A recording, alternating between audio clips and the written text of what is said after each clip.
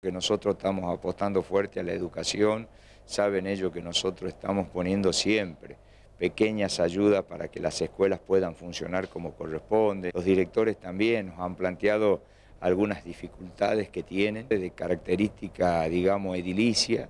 también algunas dificultades que por ahí no tienen los elementos necesarios para darle de comer a los chicos. Por ahí hay escuelas que cuentan con partida, pero por no tener eh, vajillas, por no tener una cocina industrial, este, no le están dando de comer a los chicos. Y después un tema en común de las 15, 12, 15 escuelas es la conectividad. Y en ese sentido nosotros nos hemos comprometido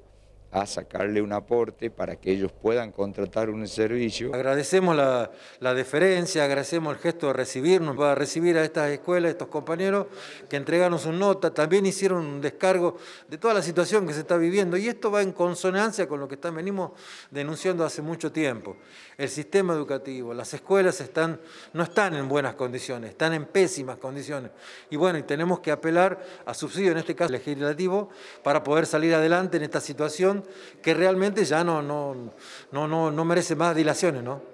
Nos han planteado las necesidades que tienen en cada uno de sus establecimientos, que también las hacen a veces los padres de los alumnos, los propios alumnos,